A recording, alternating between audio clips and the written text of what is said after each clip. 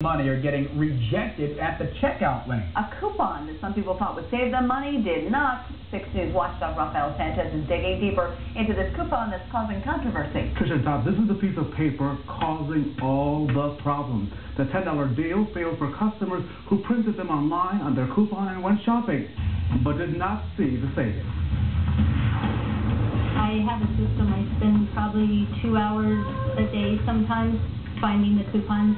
Lori Ann Kocialski is at work looking for deals. She'll show you her binder that will save her bundle. Usually save anywhere from 80 to 90 percent. Lori Ann belongs to a group of stay-at-home parents who share coupons on the internet. She downloaded this one from Sears. With it, she could save $10 on Junior's apparel with no minimum purchase. The coupon was good from September 15th through November 14th. When she went shopping at Castleton Mall on Saturday, it was not accepted.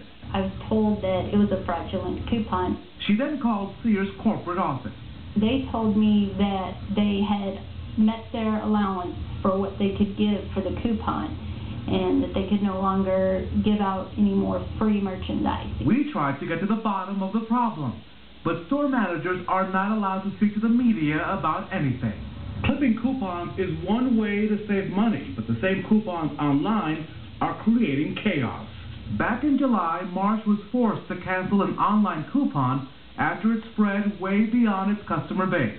In May, KFC faced a coupon tsunami and had to give away more food than it had planned. What a lot of stores didn't realize was the power of the social networking sites, particularly things like Facebook and posting things on the internet. Dan McQuiston is chair of the marketing and management department at Butler University. He says not only are merchants finding it difficult to control who gets their coupons, the economy is driving the demand for their deals. Since 2008, coupon redemption has seen almost a 20% increase. Lori Ann believes she's increasing her savings the more coupons she cuts.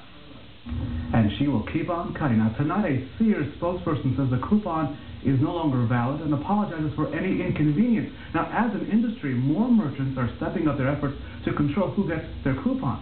One attempt could include placing a customer's name, your name, in the barcode to trace the source of any misuses. As you can imagine, your name could be in here, Mhm. and if you're the one who shares it with your friends and your cousins and your grandma, they're going to come after you guys. So be careful next time you go shopping. The Just a warning. from the watchdog. All right. Thank you, very much. Rafael.